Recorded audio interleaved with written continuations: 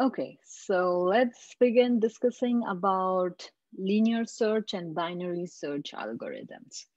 As the name says, linear search, where you assume that the given items to you is the item that you want to search. So search key, that's your target, right? If you are said by your mom to go and shop in a grocery shop, uh, then you're given a list of items that you're supposed to pick. Or when you go for, um, let's say, you visit some of you visit library then you know what books do you want to pick from library right? So you have the list of books you want to pick from library. So that's the items that you are supposed to search that's given to you. That's your search key. That's the target and you are given an unsorted array. It can be an array, it can be a list, basically an unsorted blob of items. So when you visit a library, you have like so many books there, uh, which are mostly arranged in sorted, some sort of sorted order in most of the libraries. So you wouldn't say it's unsorted. Um, but let's assume that if the items are unsorted, still you can search your items, right? Like when I visit a grocery store, I almost feel like items are unsorted. Every item is like here and there. When you visit Walmart, the items are sorted in the in the aisle in terms of some categories, but then within the aisle, you don't know what that sorting order is. So you got to go and search for the item. So for our linear search, we would assume that the items given to us, they are just unsorted. They are like the clothes that comes out of your dryer after your laundry. So they're like unsorted, all mixed. And then you are supposed to fold these clothes and arrange in the cupboard, right? So something, um, a process to go there. So you're given an unsorted array, unsorted list, or a blob of items. What would a linear search do? A linear search would first start from the beginning of the array, if an array is given to you. So let's say if our array has items such as unsorted items, six, nine, two, one, five, 11. This is our array. The linear search will start from the beginning of the array and compare the value at the i so if your array A is equal to this, then we would compare if A of I is equal to the target that's given to you. So let's say that K is your target. That's the item that you are searching for. Then you will, you will search the, you will compare if the first item in that array that's given to you is equal to target. If it is yes, then you will return that item that, hey, the, in, the, I, the index where I found this item is I, you return that. If not, then you would increment the index I by one, and you would again repeat the same step. So you would repeat until the target is found or the list being searched is empty you will keep on incrementing. Let's say in this case, your K is equal to nine. So you will increment the I by one more time. And in the second iteration, you will find that your A of I is equal to nine. So you would return the index, which is you found this is index zero, this is index one, two, three, four, five. You would return index one which is your I, that I found this item in this array at index I. So what about the efficiency of this linear search? Can anybody say what is the time complexity of a linear search?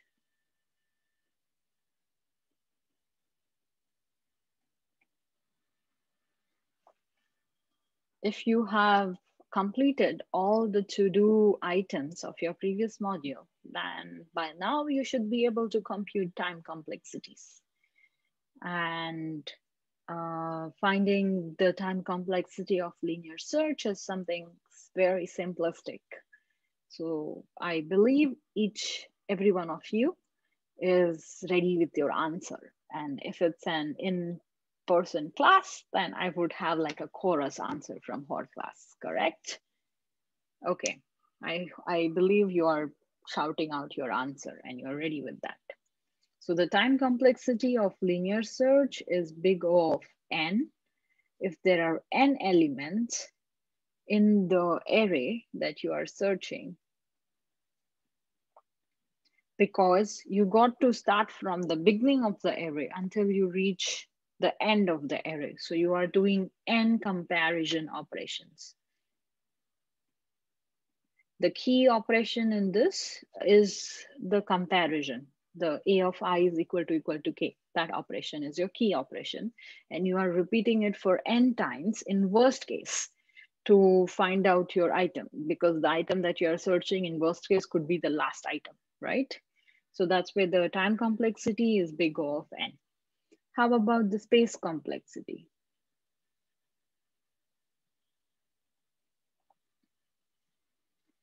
Do we also have a chorus answer for space complexity? Yes, I believe all of you are ready with the answer um, of the space complexity. As we just discussed, the space complexity is how much amount of space this algorithm is going to consume while you run it. Now, while running this algorithm, if we are given n elements, then we are not occupying any more space than n. We are just doing comparison and we are not um, occupying additional space. And that's why this is in place algorithm.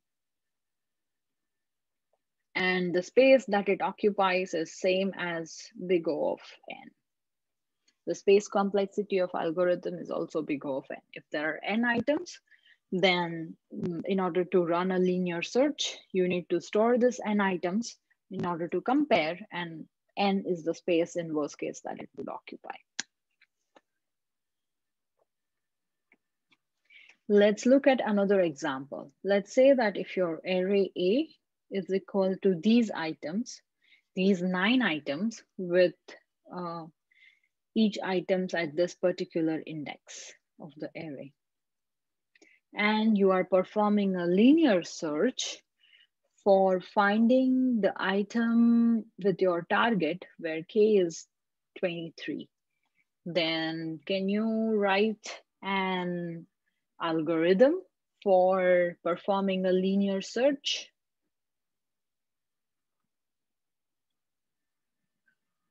This is something where if you are reading the reading, if you're completing your reading assignments, if you're watching all the videos, then by now we assume that you should be able to write pseudocode for any task that's given to you. So if you understand the problem, I think this problem is very clear. You should be able to write pseudocode. You should be able to write, um, first you should be able to write the before, even before writing pseudocode, we need to first frame the algorithm. So we need to frame the logic of the con context. Okay, go. Hmm. So first we need to frame the logic of the algorithm, right? What all things you want to do. Something like this here is your algorithm. Then after you have your algorithm, then you write the pseudocode, which is more near to the programming language that you want to write your code into. So pseudocode may not have some header files, but it will capture the logic in terms of, in context of programming. And after you have your pseudocode, you can write your actual code in any language, particularly during the during this course, we'll be writing our codes in C++. And we have already seen how to write codes in the previous um, lecture of this class. We have seen how to write C++ code. Um, you should be able to write your own pseudocode and mostly in the upcoming modules of this class, we will be discussing how to frame algorithms. So we'll be concentrating more on understanding the logic behind the operations or behind the things that we are doing Once you understand the logic, then the routine assignment of converting the algorithm to pseudocode and converting the pseudocode to C++ code is something that will rely upon your coding skills. So this is something that you should have already developed and inculcated by now by practicing the programming codes that we discussed in our previous modules and previous lectures. And you should be well versed with this. So if you are given the algorithm, if you are given something like this, then you are expected that from this, you can write an actual C++ code that can be compiled and executed and you can give actual input to that and you can get an output from that. Okay, so that's something that you will be doing on your own.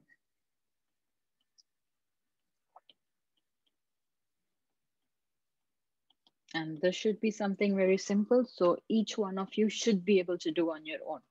Convert this uh, basic algorithm that's given to given here for linear search into a C++ code, execute, compile and execute that C++, C++ code give this array as input to that C++ code and try to search for an item where you give target as k equals to 23. Additionally, what you will be doing after you have this code, do your own write C++ code. After you have this code, while you are executing this code, after you compile successfully without errors, and while you are executing, you will measure the runtime. Then what I want you to do is compare this, depending upon the item that you're searching in this unsorted list, compare the time that it takes. So it would be interesting to notice that if your item is the first item in the list, it will take lesser time. If your item is the last item in the list, it will take more time. And then we know that theoretically, the worst case complexity is big O of n, right? So then increase your n, increase the size of the array, and you can play something more interesting, such as when you are increasing n from 10 to 20 to 30, then the number of elements get increased. And if you are searching the last element in all this, then your time, runtime, also should increase in the fashion in the linear order with respect to this. And that's how you can say that your runtime is of the complexity, big O of n. This is all fun things to play with and to program and learn. So learn it hands-on while working and understanding these concepts. Next, let's see the topic of binary search. So while we are, binary search is one of the advanced search. Let me change the color of the marker. Let's use blue.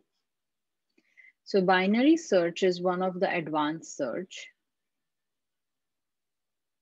that we'll be discussing. Now, in order to, like, why do we call it as advanced search? First, it is a bit more complex than the linear search. Second, like, what's the point of having more complex things if you don't have uh, that as more advantageous things, right? A complex things is expected to be more better than the simple or the brute force things. So the linear search was a brute force way of searching, where you just go from the beginning and in a brute force manner, you keep on comparing all the elements until the end of items. And whenever you get the item that you're searching, you return. But that has a complexity of big O of n. Can we do the same operation of searching an item with lesser time, with better complexity? That's what gives us an advanced searching algorithm, such as binary search.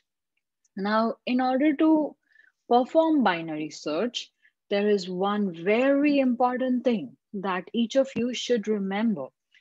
You cannot perform binary search on an unsorted array. You would need a sorted array to perform binary search.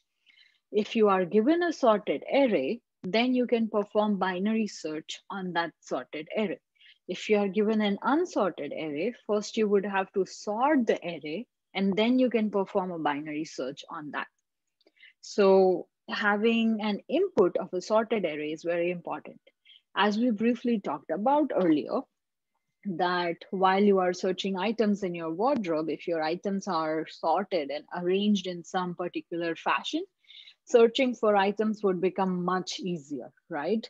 Also in a library, because the books are arranged in some kind of sorted fashion. So searching the book that you want, although there are like thousands of book in a library, thousands of book in just one floor of library, but still you will be able to search one particular book that you are that you are looking for. And it wouldn't take you like days to find that.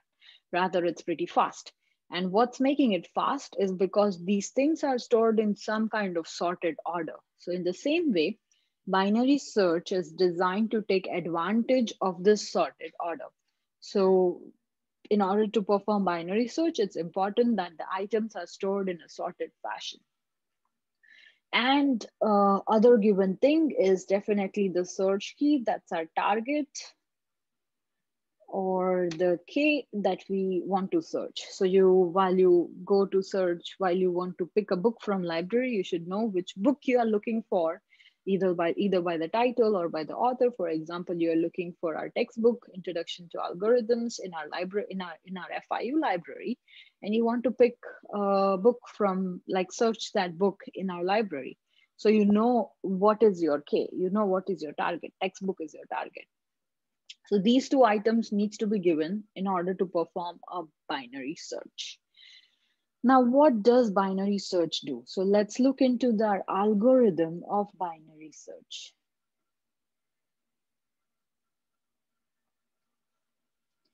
First step of the binary search, we will find the midpoint of an array and compare the value at that midpoint, which is A of M to the target K.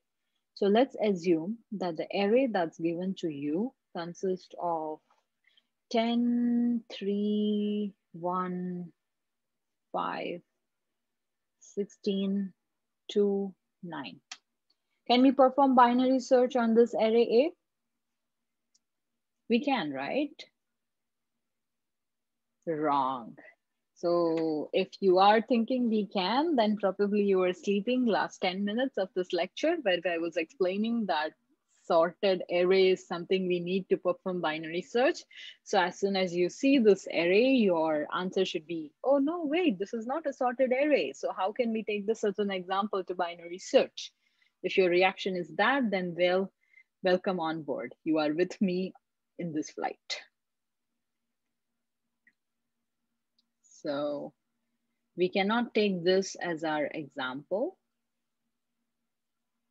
but rather we would need something that's sorted to take as an example while performing our binary search. So our example can be something like A is equal to 2, 6, 9, 10, 11, 50, 100. So this array has 0, 1, 2, 3, four, five, six. It has seven items from zero to six. And we are supposed to search, let's say, for example, item uh, RK target is 50. So what we do in binary search is something very intuitive. You would be doing binary search in many items that you search in your routine life. What do we do? When you know that things are sorted in some order, then you go and attack the send the item that's at the center of that uh, sorted list that's or sorted array that's given to you. So what we do is we look at the midpoint and here the midpoint is nothing but uh, because we have seven items, we can say our midpoint is three, just seven by two, right?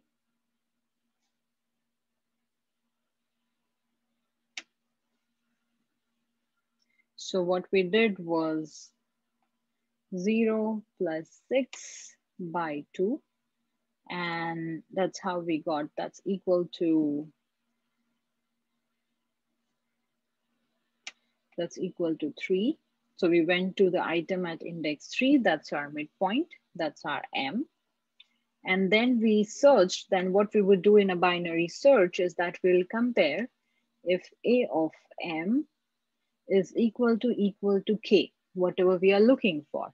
If it's equal to K, well, our job is done, right? You, you just went into a something to search something, you just went right inside the store and you saw that right up front you grab that and you exit. Definitely you pay for that and then exit. But still, the job of searching is done. Um, but if it's not equal to that, then you have collected some very intelligent or very intellectual information over here. Where if it's not equal to that, but if the item that you are searching for, which is K, is lesser then equal to A of M. A of M is 10. So the item that we are searching for is 50. If it is lesser than A of M, then you know in that case, the item would be lying in the left part of this list because this list is, this array is sorted array. But if not, if the item is greater than A of M, which is in this example, that's the case, then you know that definitely this item will be lying in the right part of this sorted array. And there is no chance that you'll find this item in the left part of this sorted array. So then what's the point of searching the left part, right? You have reduced your job to half directly just by this intellectual uh, logic that you have found out.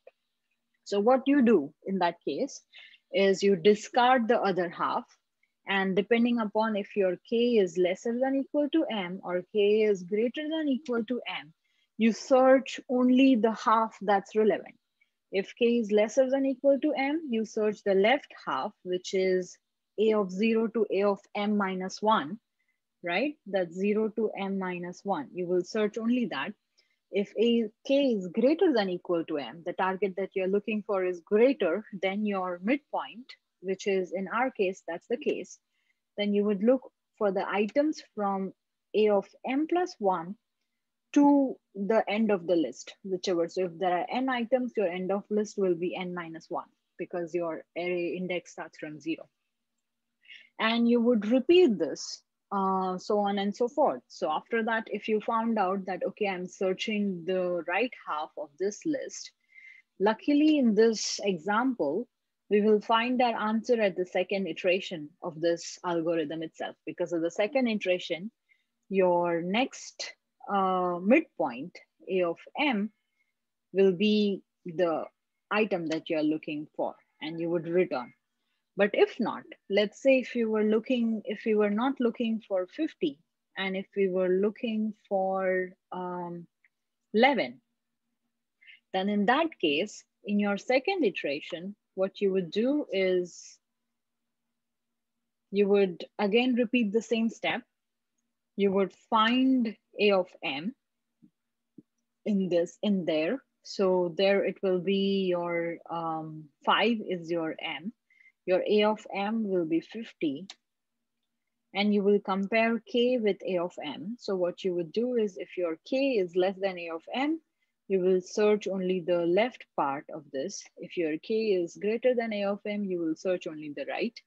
Because if your k is 11, then you will search only the left part.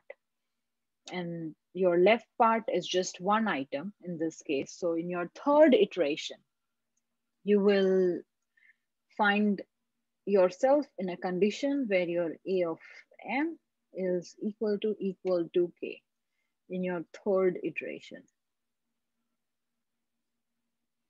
And that is how we keep going on and on. So if you analyze the pattern in which we are proceeding, every time we are discarding half of the list. In our first iteration, we discarded half. In our second iteration, we discarded another half. And because our array is small here, we don't have like more than third iterations. We have only three iterations. But in real life, your array can be thousands of elements. So there can be many iterations while searching an item in that thousands of elements. And in at every iteration, you are discarding half of whatever you are searching. In the way you can imagine this as taking a big uh, pumpkin or taking a big butternut, butternut squash and then cutting it into half. And then you have the half piece, you cut again that into half and then half and half and so on and so forth. So that's your order of progression.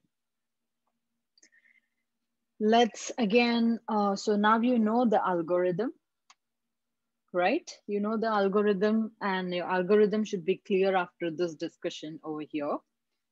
Now let's write the code for that algorithm. And then to this C++ code, give this as an example, give your A as this. Can we run a binary search on this array? Yes, we can because this array is sorted array. Although it has negative integers, doesn't matter. It's still still sorted. Minus seven is lesser than three, three is lesser than five, and so on and so forth. That's why we can run binary search on this array. And let's again take if your K is 23.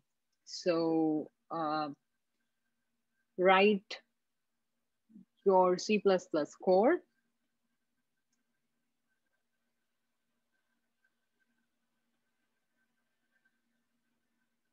Compile it, make it error-free, compile it in a way that it compiles in an error-free manner. and then run it with this example and observe the runtime.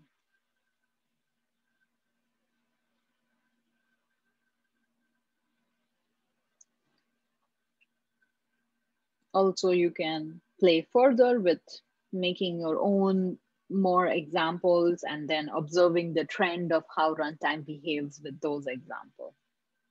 So play with that play with your C++ code.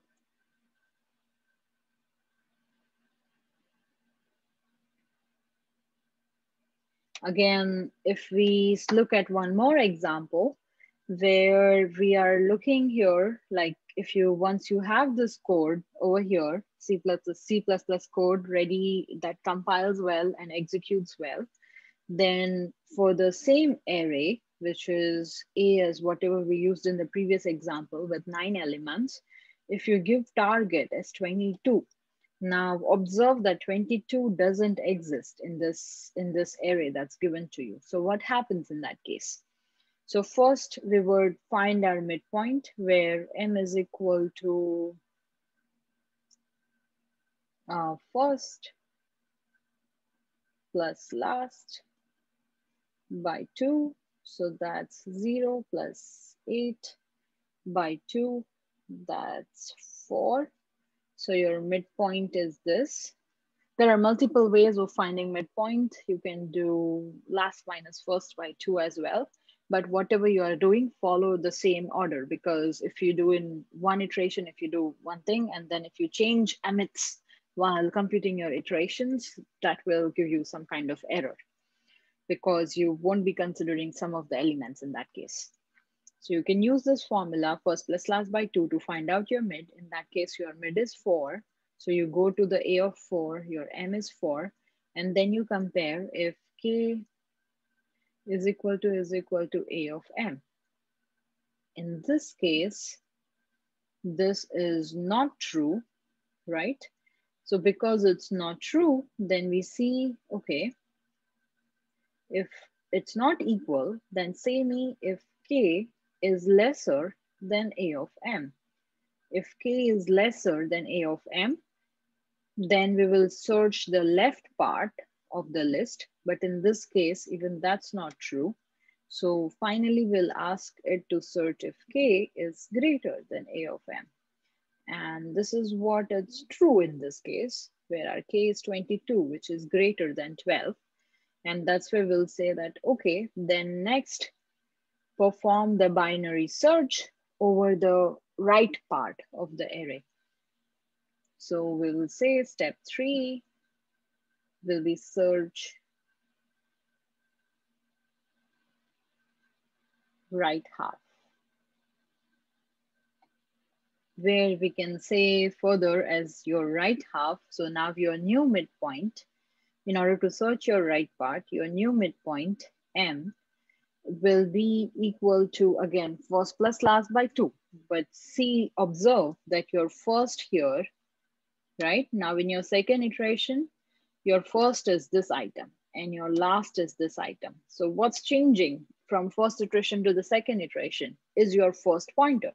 In your first iteration, your first was this item. And now in your second iteration, when k is greater than a of m, you want to change your first. So what we would say here, if this is true, in order to search the right part, we will say first is equal to m plus 1. Once you have your first set at m plus 1, which is your new location, then you say that, okay, then now again search this. So you can, because it's an iterative algorithm, automatically next time when you go from after you do this, in the second iteration, when it comes over here, it will consider as this first, it will consider this new location and your last remains the same. So in your second iteration, it will what it will compute is 5 plus 8 by 2.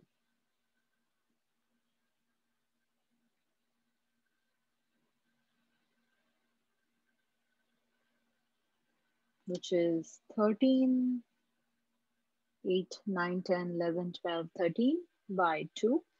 And that's equal to 6. So your M in your second iteration will be your item at the sixth index, which is 23. And now because it's 23 in your second iteration, you will find out that, okay, again, your K is not equal to M. So this is incorrect. It's you're looking for 22, but uh, A of M is 23. And now in your second iteration, your K is lesser than M. So this will be correct in your second iteration. So you will search the left half of this array in your next iteration. But well, that's a realization that there is no left half left, right?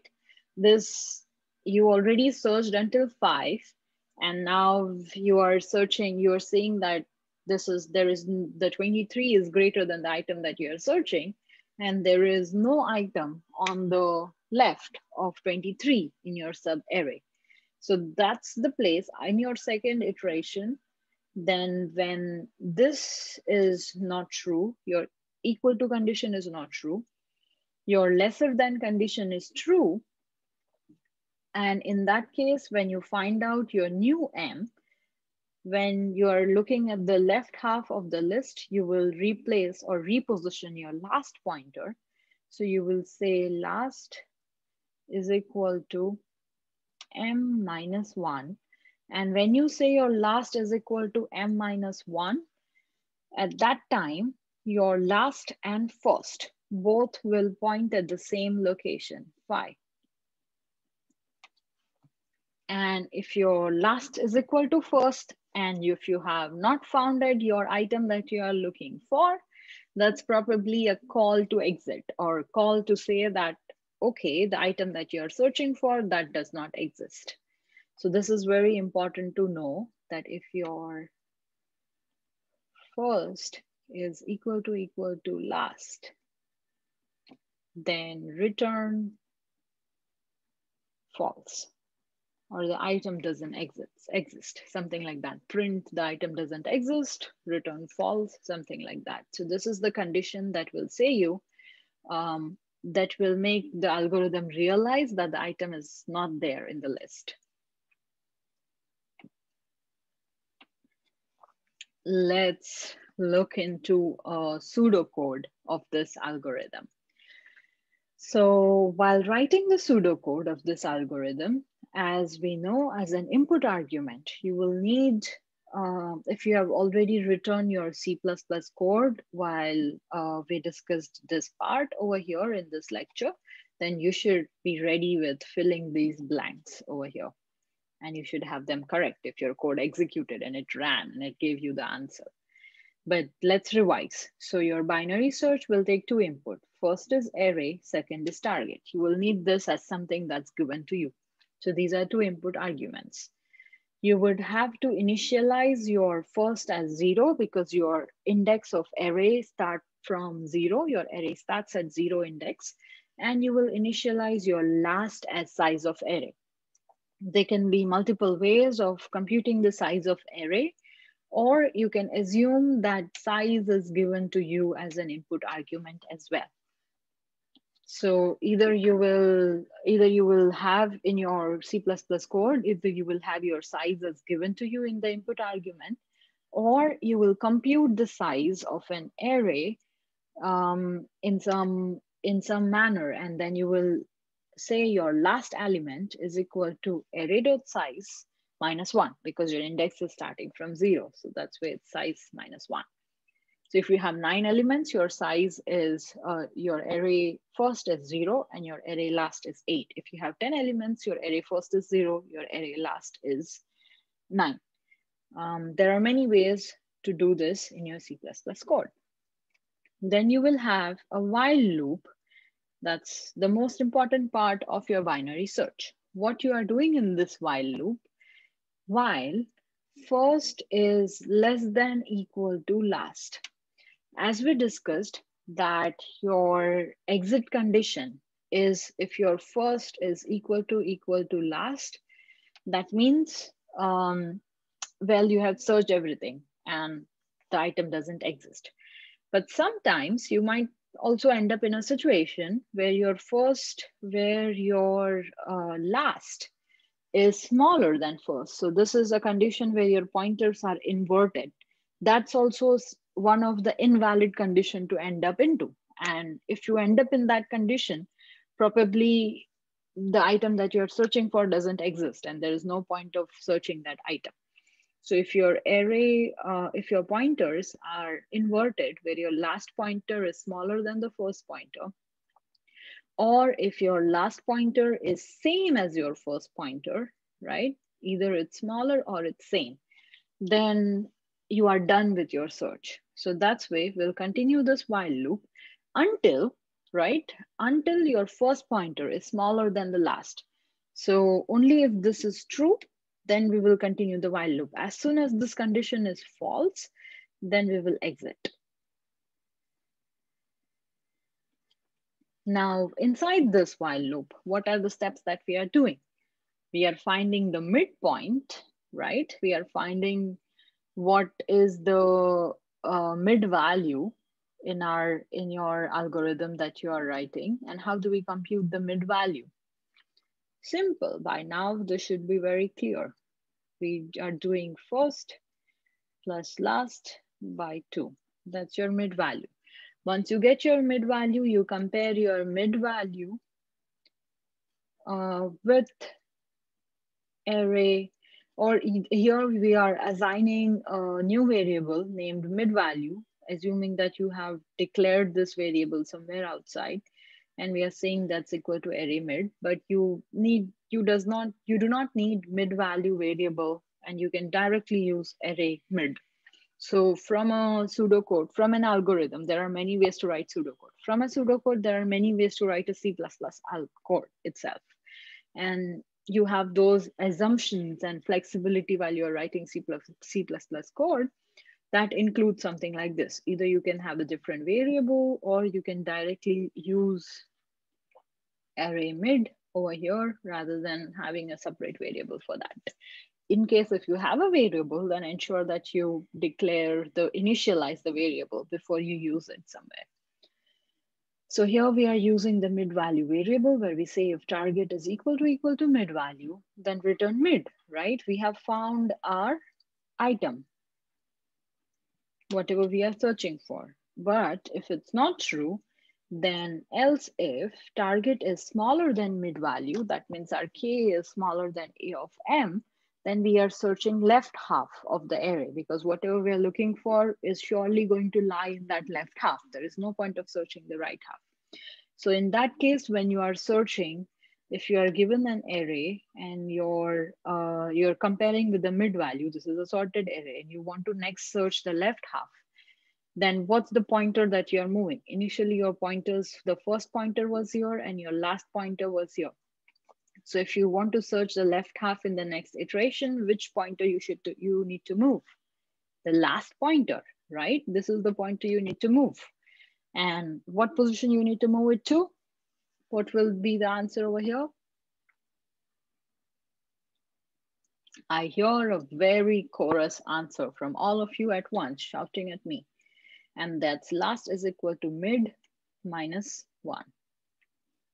Else, in that case, in the third case where your target is neither equal to mid nor lesser than mid, then your third case is your target will be greater than mid, right? So that's the only case left. So you don't need to check that condition again. You can just have else.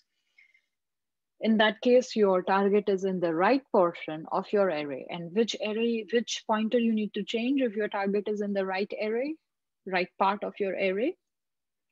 First pointer, right? because then you want to relocate first to a location over here. So your first is equal to mid plus one. And that's it. So once you do this, um, depending on one of these condition, it will go into the second iteration and it will keep going into an iteration one after other until it either finds the value or it violates this while condition that we have here. In either case, if it finds the value, then it will exit from this first, from this first if condition. If it violates this while condition over here, it will exit from there. And finally, we just return. So this is your uh, iterative program for binary search. In our next module, we are going to see binary search in a recursive fashion after we discuss the concept of recursion as well. So last long with your concept of binary search and do not forget what binary search means. Finally, after you have understood the concept of binary search, after you have written algorithm for that, after you have written pseudocode for that, and after you have C++ code which compiles and execute well to perform binary search, then let's look at its analysis or the efficiency of binary search. So for example, if you are having an input size of n items in your array, then what is the basic operation that you're performing while you are performing binary search? What was the basic operation that you perform while you are performing linear search? Can you recall that? Comparison. Comparison was the basic operation. Now, is that also the basic operation while you are performing the binary search? Yes, even in binary search, our basic operation is number of keys compared or comparison. So in the best case, which is your omega, right? Your best case complexity is one. In your first iteration itself, you just do one comparison and you find hola, you find the element that you're looking for as that A of M and you are done with your work. So that's the best case complexity. But not always the world serves you the best, right? So if your, your best case complexity will something be, for example, in this case, if this is your array and your target is 12, then you start with your binary search in first iteration itself because your M is four, you will end up with the case where K is equal to is equal to A of M and you will exit. So there is only one comparison operation that you have to do, done. But if that's not the best case, then in that case, how do we find the worst case? If our example doesn't serve us with the best case uh, scenario, let's say if your K is not the middle, then what happens in your worst case and what's the complexity, uh, worst case complexity? So the list is split down to zero, without finding a match. That's your worst case, where the worst case is a situation where we found in this example where we didn't have, right? Where we didn't have that item in the list. And that's your worst case. In that worst case, how many comparisons did you do? Recall this example where we didn't find our item in the list, how many comparisons did you do? Did you compare, uh, did you do n comparisons? No, right? Even in the worst case, you didn't had to do n comparison to find out that the item doesn't exist in the list. Rather, you did something less than n. And how do you know how many comparisons did you do? The order of that is of log of n because every time you are log to the base 2 of n particularly. And why is this? Because every time you are taking an item and you are chunking it into half, and then you take the half and then you chunk that into half, and then you take that half of half and chunk further that into half. So the progression in which you are going is log to the base 2 of n.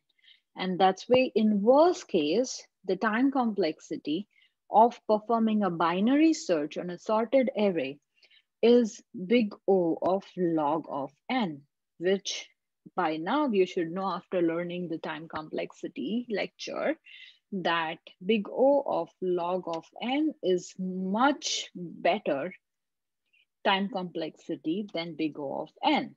So our binary search is much better than our linear search. But the catch here is for binary search, you need a sorted array. While for linear search, you can do it on unsorted array as well. That's it for our searching concepts. Both linear search and binary search were covered in this video lecture. If you have any further questions, then please see me in my office hours. Thank you.